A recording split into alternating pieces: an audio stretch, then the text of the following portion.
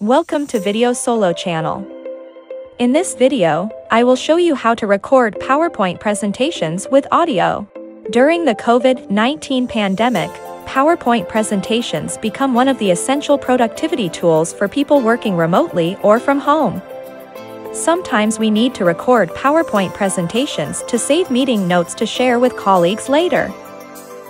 But, as you may notice, if you record directly with the recording function that comes with MS PowerPoint, you can't annotate or remark on the slides in real time. Once the recording is interrupted, you have to start over from the beginning, and the recorded sound is very noisy. Luckily, using VideoSolo Screen Recorder can get rid of your worries. VideoSolo Screen Recorder is a powerful desktop recorder that enables both Mac and Windows users to record their screen activities, system sound and microphone sound easily and smoothly. It offers a lot of customization features, in addition to noise reduction, and a data restore window to prevent data loss when you accidentally exit the recording process.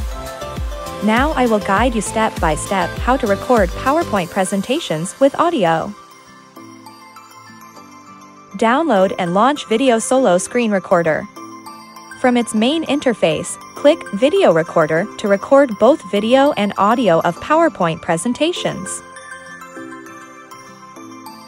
VideoSolo provides three recording area modes. Select a suitable mode to record your PowerPoint presentations. Then, for better sound quality, you can check the microphone noise cancellation and microphone enhancement boxes.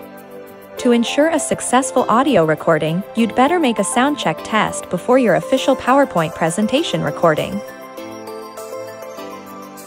Click the gear-shaped icon and go to the Output tab. You can set video format, including easy-to-share video formats such as MP4, WMV, MOV, etc. In addition, you can also set video quality, frame rate, and location of output files. Once set up, open and play your PowerPoint presentation, then you can click Rec to record. During recording, you can freely use the toolbar in the floating panel, including drawing, setting the recording length, taking snapshots, annotating, etc. After the recording is over, press the stop button and it will automatically go to view the recorded video. Then you can crop out the unneeded segments and finally click Save to save your recorded PowerPoint presentation. All has been done. If this video helps, please give it a like and leave a comment below. Don't forget to subscribe to this channel for more useful and latest videos. See you in the next video.